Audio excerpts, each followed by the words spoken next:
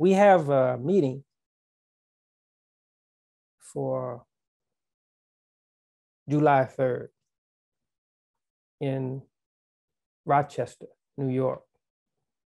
And um, it's in recognition of the observance of these United States of America, July 4th, um, Independence Day. And um, Rochester is an important setting for us to address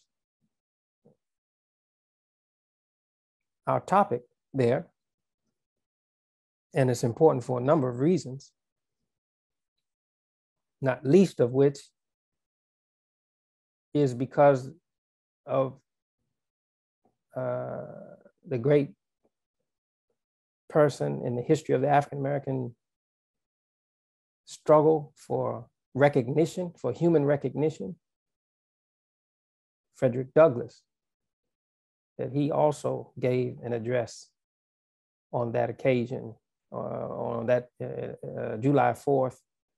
Uh, and he was discussing the promises of democracy and the hypocrisy uh, in many of those promises with regard to the treatment of the American democracy of his people, our people, the African American people. So um, Rochester is important setting for us to give that address, uh, but um, the brothers who are working there, uh, it would not be possible for us to even think about having such meeting without them and without the work that they have done. And uh, so, uh, in my preparation for that meeting, I'm not just thinking about Frederick Douglass. I'm not just thinking about July 4th and Independence Day. I'm also thinking about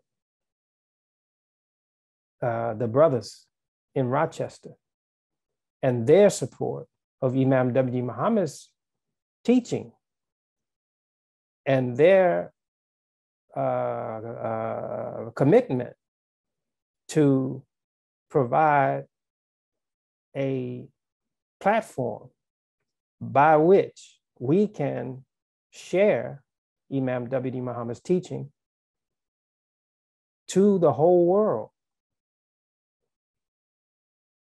And so when I thought about that situation and, and what uh, their intent is, and, the, and that's their intent in supporting me, they don't, they, they're not supporting me uh, because I say that I'm Imam W.D. Muhammad's successor. Mm-mm, mm-mm.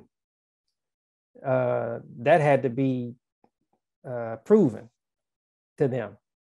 They're not that tight. They're not. They're not the, the gullible type. You know, just accept anything somebody says. That had to be proven. That had to be shown for them to support it. And, and, and a couple of uh, those brothers, uh, they weren't necessarily interested in leading any particular effort in Rochester. Something compelling had to happen in order for them to get involved in leading an effort. And that compelling uh, interest was that they saw that here is a need that we register in our own soul. Here is a need that we register in this city that we live in. And here is a voice and language and understanding that addresses the need. And so let us work, commit ourselves, sacrifice to make a way for this message to be heard. And that's what they have done. So in my preparation for that meeting, I'm thinking of them and what they're committed to.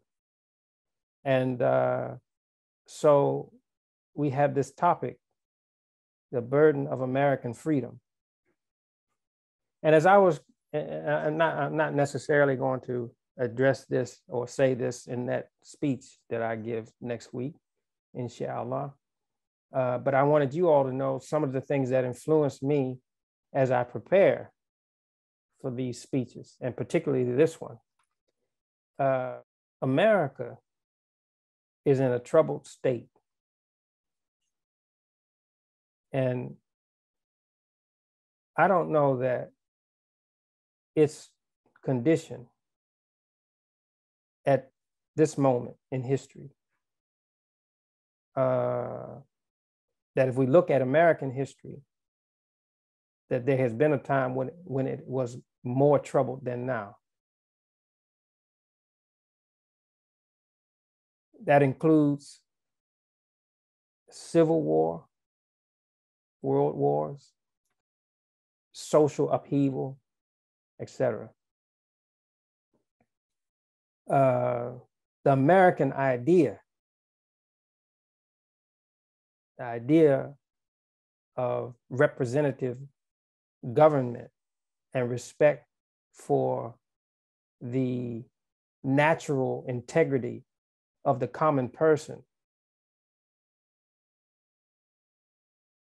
to support an enlightened progress in the context of society is being threatened.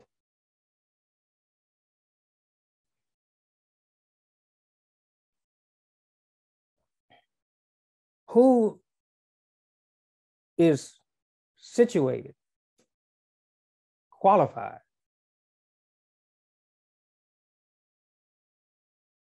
to address America's condition.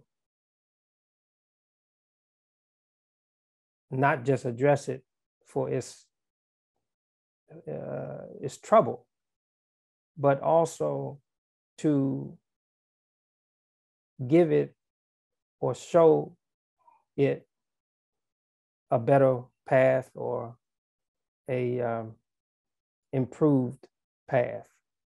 Who is qualified to do that? Well, it would have to be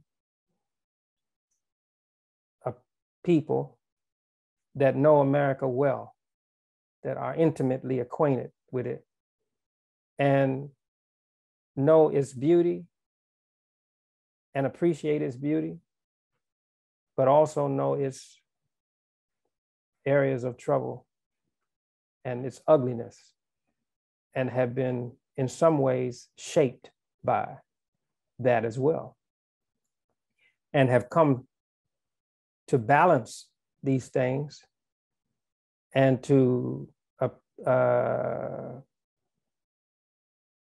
value its longevity, its endurance, and value it to such a degree that they